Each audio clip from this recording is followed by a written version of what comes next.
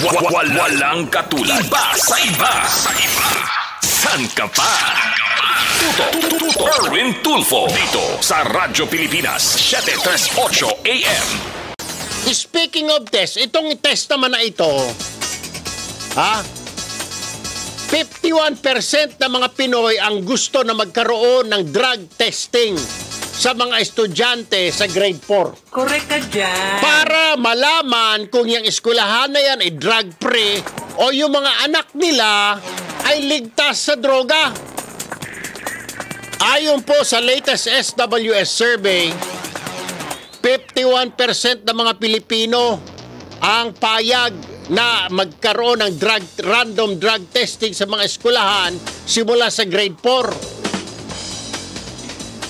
This is the reason why. Bakit? Eh kasi gusto ng magulang para kahit siguro kahit ako magulang, kahit ikaw engineer, yung pinupunta na eskwela ng anak mo, gusto mong malaman kung baka may mga addict doon. Di ba? O pati ikaw mismo, yung anak mo, baka mamaya nag-mamariwana na pala.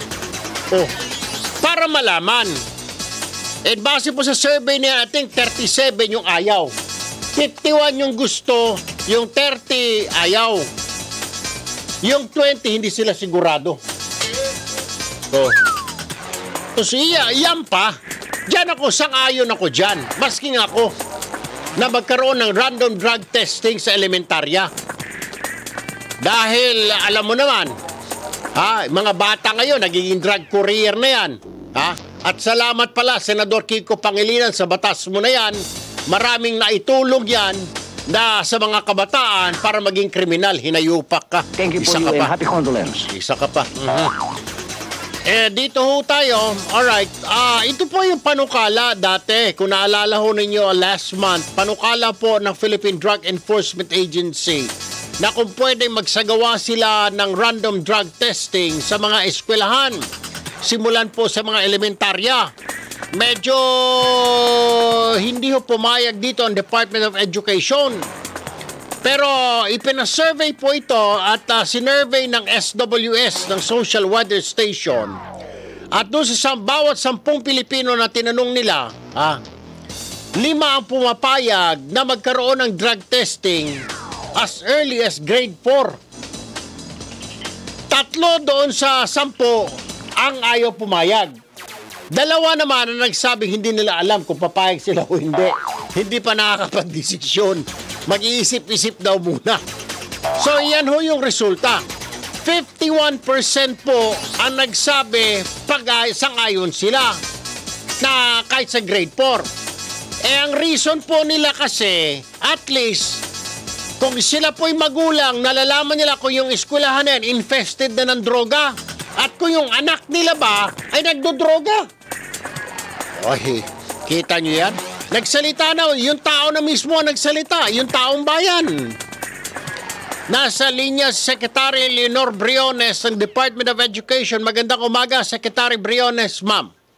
Ah, magandang umaga, magandang umaga Erwin, magandang umaga sa mga nakikinig sa programa ninyo at saka congratulations na napili ninyo itong topic na ito na napaka urgent at this time. Opo, opo. Kasi po, ah, Secretary, ah, lumalabas po sa survey ng SWS, a recent, 51% do sa mga sinurvey ay pumapayag na ah, mag-undergo ang mga bata as early as grade 4 sa drug, random drug testing, ah, Secretary. Ano, what are, what are your thoughts on this, ma'am? Ah, right now, Erwin, ang ginawa ginagawa namin ay ah, magtatapos na by December yung aming ah, ah, drug testing on, on a sampling basis, no? Aha. Ah, sa mga sa mga bata. Mm-mm. Ah, ang ating ah, challenge dito, dalawa. Mm. Ah, alam din namin, aware din kami na ah, maraming parents gusto na rin yung mandatory drug testing. Mhm. Ah, ang unang challenge, Erwin, kasi ay ang batas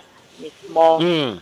Right now, ang existing law natin sa anti-drugs natin na batas ay nagsasabi na ang drug testing ay gagawin on a sampling basis sa mga high school students. Ah, high school pa lang. So siguro kung ah, kung may mga gustong ah, baguhin yung policy na yan, kailangan din baguhin yung batas. Mm-mm. Kasi magiging vulnerable kami, Erwin, to charges of disobeying the law. Mhm, mhm. uh, which is the anti-drug uh, anti-drug law na uh, nagsasabi na sampling ang gawin at saka sa high school students. Mhm. Oo. ang pangalawang challenge din dito, oo, even as we recognize na sinasabi na ng taong bayan mismo na gusto nila mandatory drug testing. Mhm. Ah, ang pangalawang challenge ay mayroon tayong privacy law Aha. ah kailangan proteksyonan natin ang ang ating ang privacy hindi lamang ng ating mga adult tayo buhay natin kung ano mga ginagawa natin kundi ang mga bata mismo lalo ng pangangailangan ng proteksyonan ang mga bata Mhm. so um kailangan na ah, iladlad ng maayos kung paano natin maprotect halimbawa ang identities kung Mhm. mayroon mang mga findings etc Alright. kasi kung gawin itong big media um, Mm. event, Mhm. ah mayroon naman tayong isang batas na nagsasabi na Okay. respect privacy, etc., etc., Alright. na malalabag. Okay. Ngayon, ang pangatlong ah, challenge din ay ito ay more administrative. Aha. Kasi right now kasi Erwin, we have ah, sa kabuuan mga 29 million yung ating mga bata. Okay. Oo. kung halimbawa starting grade 4, sigurado yan siguro mga halos more than 10 million siguro Mhm. ang apektado nito kung gawin natin na from ah, from grade 4 or from 9 years old eh, Mm. subject to mandatory testing. Mhm, mhm. Ah, magiging ano ito Erwin, administrative ah, challenge talaga ito na paano mo ah, na gawin mong ah, maayos yung pag drug testing siguraduhin mo na ah, maprotect ang identity ng bata at ng bata at saka ng parents at saka yung school Mhm. at saka sigurado ding maka-undertake tayo ng action immediately kung may finding naman. Kasi ang aming karanasan, sampling basis lang nga lang ang ginawa namin, Right. 21,000 ka mga bata, Mhm. eh, talagang napaka-komplikado kasi hindi lamang ang Department of Education ang mag, Mm. ah, trabaho nito, kundi Mm. kasama ang Department of Health Okay. at saka hindi naman biro, ah, hindi naman ah, simple ang paggawa ng drug testing. Tama, tama. Dahil Ah, ah. pwe- pwede Erwin na halimbawa na iba lang ang magpa-test, kailangan yung ah, clean yung mga ano, la- may mga may mga protocols diyan. Correct, Tapos, correct. Siyempre may may cost involved dahil itong aming ah, sampling basis na ano, medyo malaki ang gastos dahil all over the country. So yung tatlong aspeto na yan, um, uh, we have to be dealing with even as we recognize ang pinaka ano siguro, pinaka ah, malaking ah, challenge na pwede naman sigurong mapahanapan ng ah, solusyon yan, of course, is the law itself. Because Alright. the law is very specific, Erwin. Kailangan anyway, high school, something basis. Anyway, ah, Secretary, hayaan nyo, eh, yung ACT-CIS party list, eh, yan po ay susulong. Baguhin po yung mga batas natin na mga walang pangil, na mga mahihina, na mga baluktot, eh aayusin ho yan, lalo na particular sa issue na yan, Secretary. Oo, kasi ano, eh, maano naman, halimbawa, kasi ah, immediately, may involve dito Department of Health at Correct. Education. Sigurado yan. Mhm. Saka Siyempre, ang PNP, ah, mai-involve din. Na Right. Hindi naman kami magiging ah, subject ng ah, akusasyon na Right. lumalabag sa existing law at this time. Secretary Leonor Briones and DepEd, ma'am, maraming salamat. Magandang umaga po, Secretary. Oh, magandang umaga. Ay, salamat na tumawag kayo. The first na tumawag on this issue and and thank you very much. You're welcome, ma'am. Of Dapat course. pag-usapan ito ng taong bayan. We will. All right. Thank you, ma'am, and have a nice Thank weekend. you. Thank you po. Thank Si Secretary Leonor Briones, ah, pero tama din ho siya eh. Sabi ngayon, may batas daw ho kasi tayo na ang drug testing eh dapat sa high school lang hanggang college. Pero doon sa survey ng SWS, pumapayag po yung mga, siguro mga magulang ito eh, na as early as grade 4, kailangan i-drug testing na. Aba, eh, siguro kailangan na, na napapanahon na, na kailangan baguhin yung batas na yan. Eh, what a better way, kaya alam nyo na, yung tugtog natin. Kaya sa darating na halalan, kung gusto ninyo baguhin yung batas na yan, alam nyo na ho isulat ACT CIS para baguhin po yung mga batas na yan, babaan po yung edad ha, ng batas na yan, ng drug testing ay pwede na hanggang grade 4. At ta, babaan din ang edad na mapapanagot yung mga kabataan ng mga kriminal na kinakanlong ni Kiko Pangilinan Sisiguraduhin no ng ACT CIS party list na bababaan na 12 anyos ay mananagot na sa batas. Okay, tama na. At, eh, masakit na sa lalamunan. Wala naman bayad. Libre naman yan eh. Ko po naman. Ito naman. Ay, dire-diretso tayo. Oras sa alas sa 11.29. Nasa linya naman po si Director General Aaron Aquino ng PIDEA. Magandang umaga, General Aquino, sir. Magandang umaga sa Erwin. Sir, alam nyo, parang you were vindicated nung sinabi ninyo last month na gusto ninyo i-drug testing ang grade school, ah random drug testing sa grade school. Sinabi na po ng SWS sa recent ah, survey nila, pumapayag ang ah, 51% ng mga sinurvey na magkaroon ng random drug testing sa elementary as early as grade 4. So, you were vindicated, General Aquino. Tama yun, Erwin. At ako'y nagpapasalamat sa sa lahat ng mga taong bayan natin, lalo sa SWS, ah, na majority ng mga Pilipino ay nag-agree Aha. sa PDEA to Mm-mm. push this program. Mm. Uh, de- definitely, this is a, a- another step in realizing our goal for a drug-free country, uh, Erwin. Oo, at ah, lumalabas din kasi sir, parang ah, gusto na siguro mga parents ito na they want to find out na baka yung eskwelahan na yan, infested na ba ng droga yan, or yung anak mismo na nila, eh, hindi na nababantayan, eh baka nagmamariwana-mariwana na rin dyan as early as ele- elementary. So pumapayag sila, General Aquino, sir. Uh, Erwin, nag, nag-evolve na kasi yan nung, nung panahon natin. Wala tayong nakikit, naririnig o Right, napabalitaan na, Aha. walang- na hindi gumagamit yung high school. Oo. Eventually, Oo. uh, napasok na rin yung secondary high school. Marami nang uh, gumagamit at marami na rin nagtutulak. Aha. And lately, nakakarinig na rin tayo ng mga elementary na Oo. estudyante na nai-involve. Oo. Kaya nga sabi ko nga ito ibase sa mga sa, fac- sa figures namin sa PDEA alone Mm. eh naka-aresto kami ng 1,820 minors Sus Mario, sir. uh, who are involved in illegal drugs and most of these are pushers. Mhm. And uh, sabi ko nga ang youngest nito is 6 years old na isang pusher Diyos ko na po. batang babae. So Oo. Nakaka nakakaano na nakakaalarma at uh, dapat may, may mga mag, mag- nagkakaroon na tayo ng dapat ng concern na dapat uh, medyo bigyan na natin ng pansin ito Erwin na kaya lang nakakalungkot nung time na inopen up ko ito parang hindi masyadong uh, Oo. ah, naintindihan ng mga taong bayan bakit gusto kong ah, magkaroon ng ah, mandatory hindi lang mandatory kundi surprise Oo. sa Oo. sa grade 4 pataas oo. Eh mukhang uh, na-vindicate nga kayo. Ngayon eh, pumapayag ngayon na nagsalita na yung taong bayan at sinasabi nila payag sila. Ah, 51% of them. Habang yung 31 yata ah, or 30% are saying na na ah, will ti- ah, hindi kami payag. And yung 20 yata ang parang ah, undecided. So lamang na lamang talaga yung pumapayag ah, General Aquino. The more siguro Erwin pag naipaliwanag natin ang proseso na gagawin Oo. ah, kung paano natin idadrug test ang bata at ano yung proseso na gagawin ng PIDEA at iba pang ahensya na may involved dito para siguraduhin, eh tayo ginagawa lang naman natin Erwin ito para sagipin yung mga bata Mm. at ah, i-secure natin yung mga bata na hindi hindi mai involve sa paggamit o sa pagtutulak. Mhm. Hindi naman natin na ginagawa ng PDEA ito para iharas ang magulang, Mhm. iharas ang mga bata.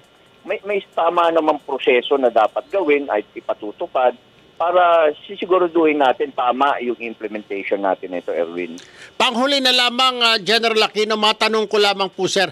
Ang pagtaas po ba nitong mga kabataan na involved sa droga, ito mga courier natin, do you think ito ba pinag-aaralan ninyo kung ah, isa sa mga dahilan ay yung ah, ah, dahil dito sa Juvenile Justice sa Act ng ah, ni Senator Pangilinan na ah, tinaasa ng edad ng mga kabataan o ng mga bata ah, para mapanagot sa batas, sir?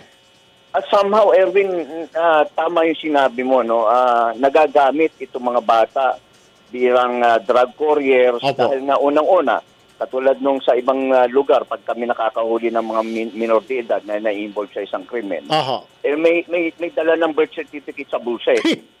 Aha. So, ipapakita lang yung birth certificate, hindi ako liable kasi ay, ay ako, ako isang minor, Minor. lang. Pero nahuhulihin mo siya ng droga, nahuhulihan mo, na, nag, siya shoplifting siya, gumagawa siya ng isang krimen, Aha. na para bang alam na alam nila Hmm. na hindi sila mananagot sa batas kahit anong gawin nilang krimen, kahit alam na alam nila yung krimen na yun, anyway, ako isang minor de edad, hindi ako makukulong, hindi ako liable dyan. So para bang ang uh, ano ngayon, ang mga sindikato nagagamit na pati magulang minsan, ginagamit na yung mga anak nila na anyway, ah, sa DSWD ka lang naman doon, na ilang araw ka lang naman doon, mailalabas ka nita uli.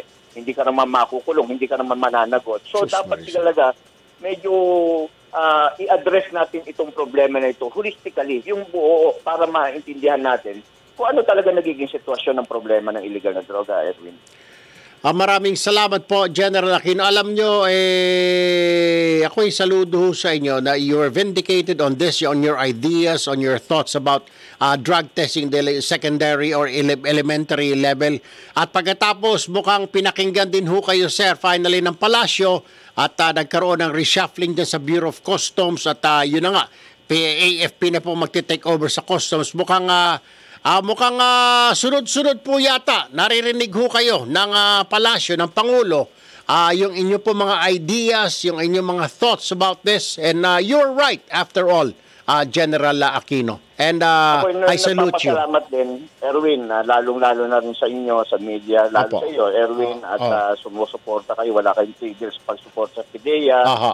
Ah, again, ginagawa lang po ng PIDEA ang nakakabuti sa ating mga estudyante, sa ating mga taong bayan. Aha. Wala naman ho kaming gagawin dito na masama. Aha. Lahat examen, trabaho lang naman Mhm. para maibigay ang kabutihan at para kasi meron ho kami commitment na tatapusin namin droga pagdating ng pagbaba ng ating presidente bilang presidente. Ngayon, papapuno po namin makukumit yung aming ah, ah, yung aming sinumpaan na yon kung hindi namin gagawin ang dapat ng tama at ang maayos ang aming trabaho. Kaya ako po ako ay nagpapasalamat sa lahat at ah, let us continue supporting PDEA po lahat yung mga programa namin. Meron Opo. pa kami ngayong ah, Erwin na programa, yung ah, Sagip Batang Solvent. Pag-uumpisa na rin kami nito na yung mga batang nagsosolvent sa mga daan, ginagamit ng sindikato na mag-pickpockets, gumawa ng ah, krimen, ah, magnakaw, ah, gawing couriers, kung ano-ano, nasa lansangan sila, palaboy.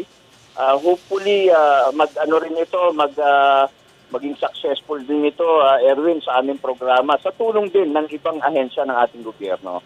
Ah, nako, ay salamat General ah, Aquino. Marami na matagal na hong sakit ng ulo ng sambayanan, yung mga solvent boys na yan and girls at ah, Mabuti at ah, kayo nakaisip niya na napunta kayo dyan sa PIDEA. Finally, matutuldukan na rin itong problema natin sa mga solvent. Salamat po, General Aquino, sir.